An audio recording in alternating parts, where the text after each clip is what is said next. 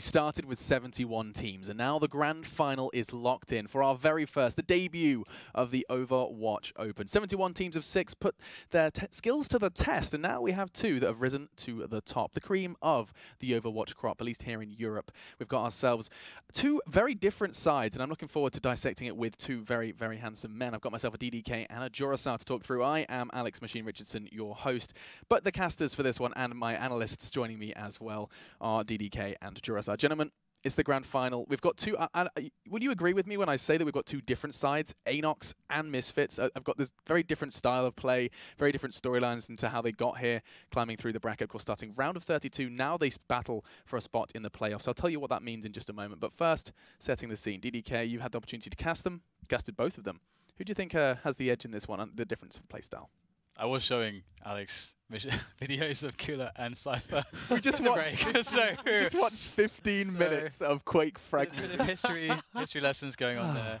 And he's like, he, loves the the railgun. Dude, something, something quite special about the railgun. And actually, you know what? It's an interesting discussion. Uh, why not? Why don't we just jump into it? Right? Do you think there are some there, there is you know similarities between Cypher and his his efficiency with the rocket in Quake and picking up Pharah? Do you think there is any sort of like? Well, it's a shame that Pharah is not really Saying that Pharah's not really not in the meta. I, I think if I think if Cypher picks up Pharah now and then wins in the grand final by wrecking face just with yeah. Pharah, then like getting these direct, direct rocket hits. Greatest of all time, right? Yeah. If he does that now, I will worship. Yeah. That's it.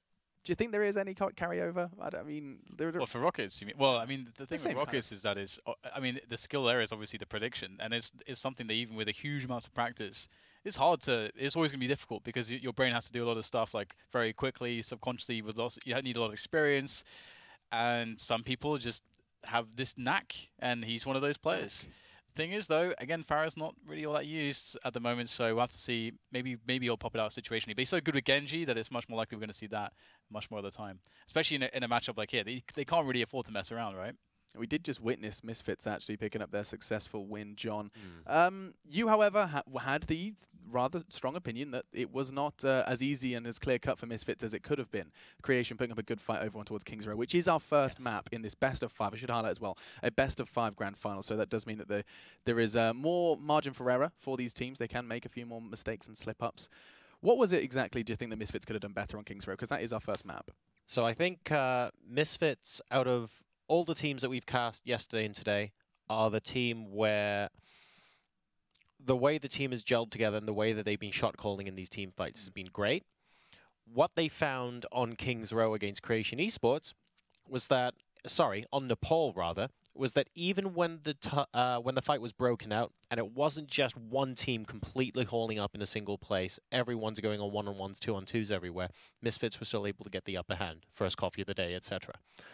They're not going to find that with Anox though, and uh, I'm a little bit concerned because I do think that Cypher has the opportunity once again to uh, potentially lift the team to victory here. I think that a lot of people looking in prior to this tournament would have said Anox are there or thereabouts, and they're going to be really good, but at what point will their teamwork uh, amplify their individual capabilities. Turns out that was yesterday. So uh, Misfits have a lot on their plate right now. And I think that is a storyline that we need, do need to kind of reiterate. You, the chances are we've got some first-time or newer viewers um, to Overwatch. And the story goes that, you know, Anox haven't been on our radar for too long. I mean, they've been playing, they've been competing, they haven't been finding too much success. You look at the rankings, they're nowhere to be seen in comparison to the likes of the teams that they have already dispatched of. Yep. They remove Reunited, they remove Rogue, they have an efficiency for beating, beating teams beginning with R. Uh, but all round, you know, that's rank 3, rank 7. These are big names that they have, and convincingly beaten. Now, I don't know whether I should start the discussion suggesting that this patch favors them uh, I think that's maybe a, a, debate worth having, considering just fresh off of this patch, suddenly they're in a grand final and their opportunity to get to the playoffs. Certainly favours Cypher. Sure. we can say that much. That's fair enough. well, any good Genji well. player. Yes, I think. And where is this? Where is the uh, the rise of Genji come from from this patch? You've talked about it before. I do want to make sure we reiterate that though. So a lot of what makes Genji great in this patch is uh, the reintroduction of Zenyatta as a very strong support. So that combination... What do you call the combination, John? It's Zenji, not Genyatta. Although there is a little bit of room for debate. I like Zenji, it sounds good. But the thing about that is it makes a lot of the heroes that previously would have been employed to take out Zenyatta, to take out Genji, a little bit less playable. You don't see many Soldier 76s because D.Vas have come into prominence, and you don't really need uh, the healing from Soldier 76 if you have the defense matrix from D.Va, for example. Pharah is very difficult to play in the current meta because McCrees have shot to prominence, and when uh, Zenyatta is also able to take out Pharah just floating around in midair while those rockets are being fired, she becomes a lot less playable. These are a lot of the heroes that traditionally you would task with taking out the Genjis, would task with taking out the Zenyattas, and that combined with Widowmaker falling out of favor has all of a sudden meant in the natural order of things, rather than Genji being buffed to high heaven, far from it, it's just that a lot of the natural predators have suddenly disappeared. Yeah, and actually, that's a predator I wanted to address, or we do seem to have some time. The loss of Widowmaker. We've seen, have we seen, I mean, I don't think we've seen one Widowmaker in play, maybe cropped up once for a moment. It actually surprises me because originally, obviously before this patch, I was thinking, I was trying to think how how do they how do they create a situation where we will have this where Widowmaker's not useful because I mean the wall hack in of itself is, is obviously very, very powerful. But actually, that point, generally speaking, how teams are actually playing when they're all grouping up together, I can see, you know, the wall hack would not be nearly as useful and with the, the problem with the damage and so on. And again, talking about the kind of natural ecosystem and you know having you know, no Pharahs in play and so on. You don't need the Widowmaker as much. You know, Widowmaker would obviously be a great counter to any Pharahs. You know, flying around in Mercies as well. We're not really seeing any Mercies uh, played as well due to the fact that you're you're talking about Zenyatta is is going to be able to do the job much better. Generally speaking, I mean, the reses are useful here and there, but Zenyatta's across the board a bit more useful at the moment it feels like it's a very risky play mm. to go with Mercies at the moment. There's no doubt that in big team fights, a massive res and being able to take the fight to the opposing team a second time is incredibly powerful.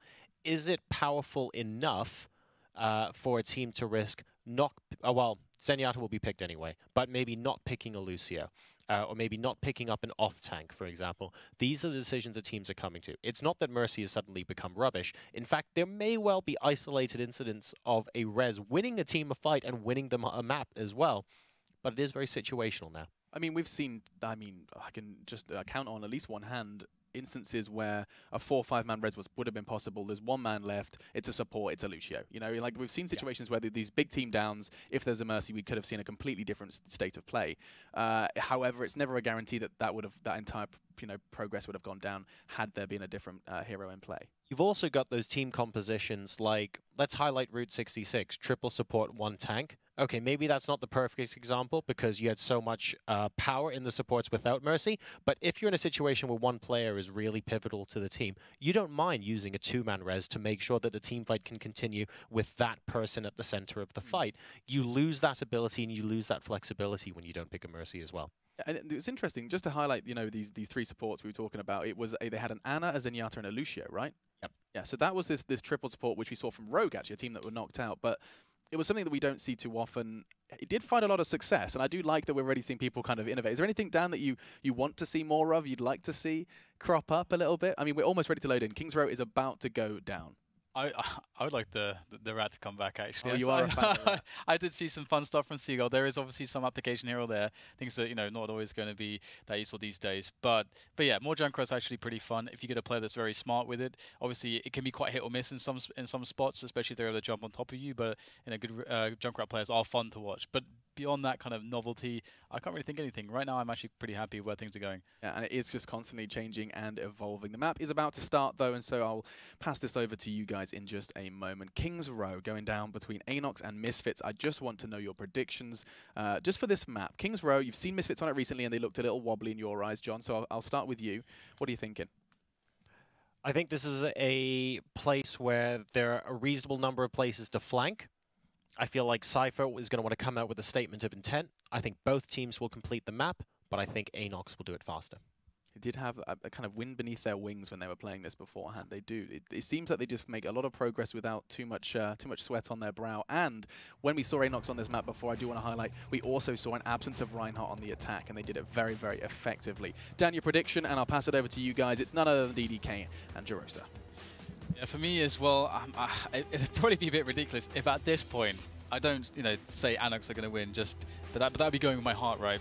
Uh, going with my, my brain. I actually, actually do feel like it's going to be very close. Both teams showing some similar uh, playstyle, you know, moving in at least to the first point. So I, I feel like the team that takes the first point uh, with the most success is actually going to uh, be able to take this one. So we'll have to see how quickly that will be, be happening, as we saw how potent it is once the team is able to deflect that immediate Winston push. And you can see Anik is on the Winston, and we're waiting for the jump now to, or rather, sorry, Anox are on the de defense first of all.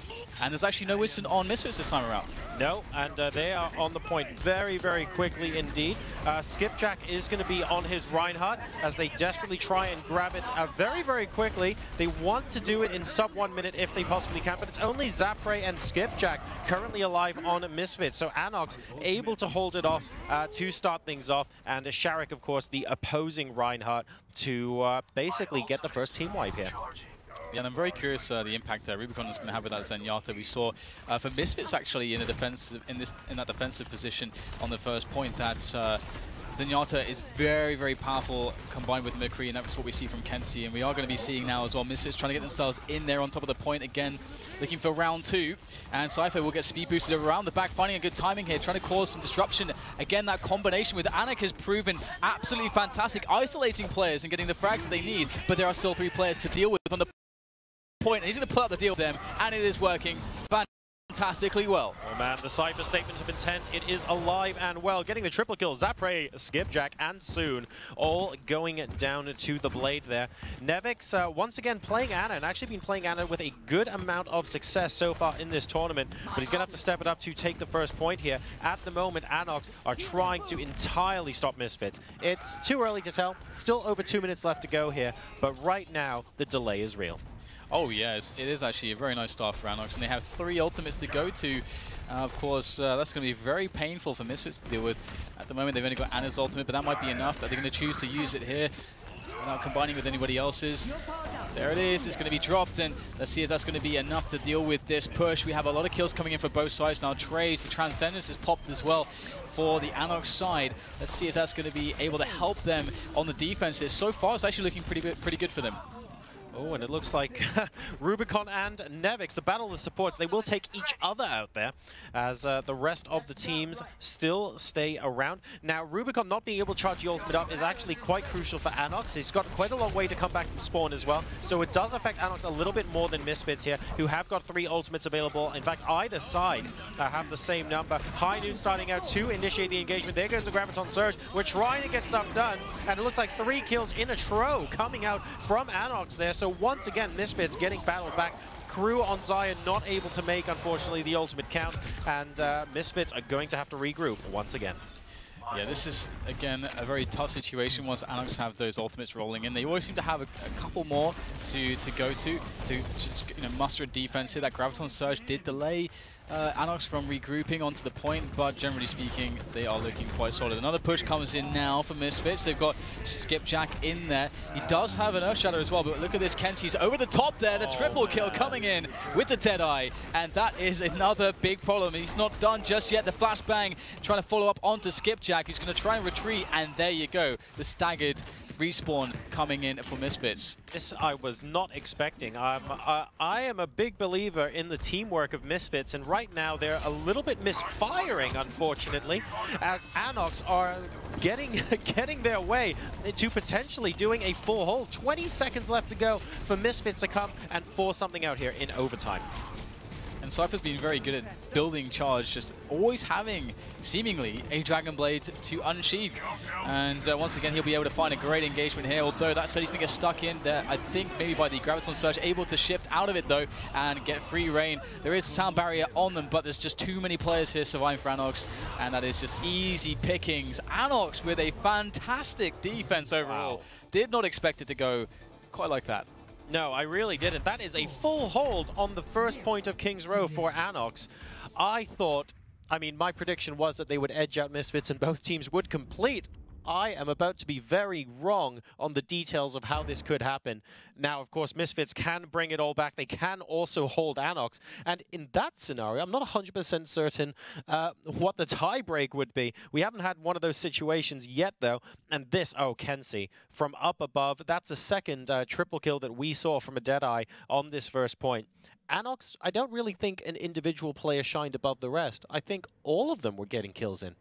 Oh, absolutely. And as you say, you know, we have I mean, the, the Annex Cypher combo is fantastic, and also the space that that push gives Kensei to just rain damage in, and combining with Zenyatta uh, to just really just DPS down the attackers seems to be very hard to deal with there in that first half for uh, for Misfits. And if this if this combo keeps on shining through for for Anox, I'm well, I'm just I'm just loving the gameplay that they have with that combo. So it's gonna be very fun to see now how they are gonna do on the attack. If they can just break the point, of course, that's gonna uh, net them the first win straight away. And of course, we already know what their strategy is. They want to just take it straight away, get Anik just leaping in there, dropping the barrier, and then trying to go for the immediate take. Although they have a lot of time to work with, do you feel like that's going to be the, the same sort of the same sort of play? Uh, I think I think it very well could be. Sorry, I think uh, Kensei maybe channeling his inner exorcist there. I have to say with that spray paint graphic, it's.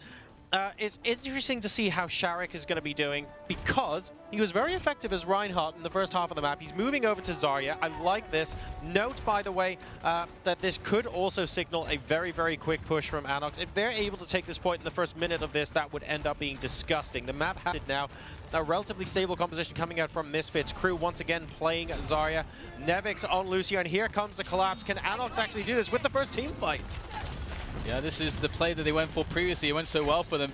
And it's very key that they make this work before the ultimates are built by Misfits. And so far, it's not looking too shabby. Kills going both ways at the moment. Crew with a lot of charge, doing so much damage. Somebody needs to deal with him. The Discord Orb is on him, and he will eventually be taken down by Kensei.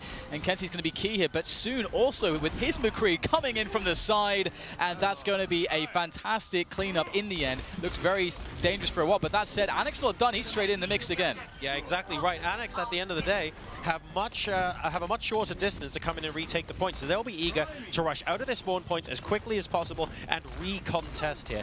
And uh, Misfits have to make sure that doesn't happen. If that spawn point, by the way, uh, sorry, if the capture point goes over one-third, it will stay there. So that charge will actually build on it. Very, very important for Misfits to prevent that from happening, to prevent the momentum. Here comes all of the ultimates. Rubicon with Transcendence coming in. Back Transcendence on both sides. And we've also got the High Noon soon taking out Rubicon.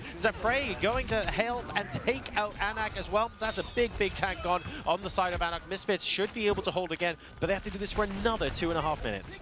It is quite a tall order, but the thing that will be going in their favor now is that they are starting to build those ultimates. They've got a sound barrier to go to. They've got a Death Blossom on Zapre. We saw amazing stuff from him in, uh, previous in the tournament uh, with, uh, with the Death Blossoms, with Reaper in general. So I'm feeling more confident about Misfits' ability. But that said, Annex straight in there again. Rinse and repeat. Cypher sound buried up. He's got himself the Dragon Blade as well. The Graviton Surge is coming in. Absolute madness. And all the kills going towards Misfits. Beautiful Graviton Surge there. And the finishing blows from Crew. Full charge with the Zarya. Seemingly too much to deal with for Anox. Wow, this is a great story as well. Anox coming out here with a statement of intent, completely denying Misfits even the first point. Misfits now coming back, doing exactly the same thing. They're not done yet, though. They've got a minute 45 left to go. Can they continue to hold on? It looks like we've got a high noon here from Soon looking to just clear some space. That's a really smart move as well to get his teammates back into some position that they can work from. Uh, but where is Anna going to come from? I was wondering. He finally gets spotted. Oh, nice straight headshot there, but a Graviton Surge coming in. Kensei oh, gets himself three there in that Graviton Surge. That is beautiful work again coming in from Anox. This is going to be pretty hard to come back from. And we see a last few Misfits players trying desperately. Zapre's in the mix there, trying to get it done. Soon is going to switch to the Tracer to get himself back onto the point ASAP to make sure that they can hold. But right now, Anox are looking like they're about to take it away. That was, uh, again, coming down to an individual moment. We were talking about those from Anox, but it didn't come from Cypher. It came from Kensei there, the triple kill from McCree.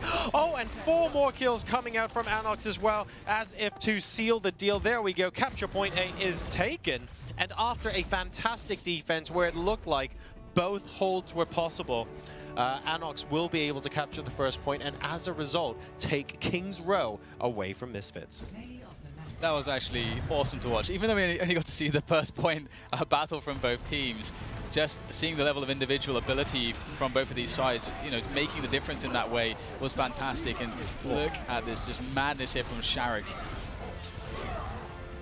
Very active, constantly all over the place with his Reinhardt. He wasn't stationary. He wasn't just shielding his teammates.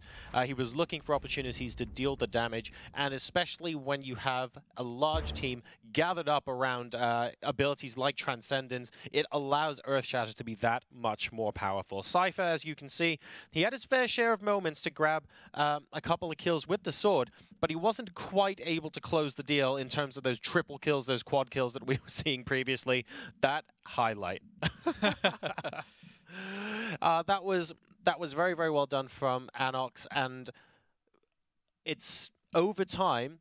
I'm speaking about Anox less in a collection of individual players yep. and more in the way the team is working Absolutely. together.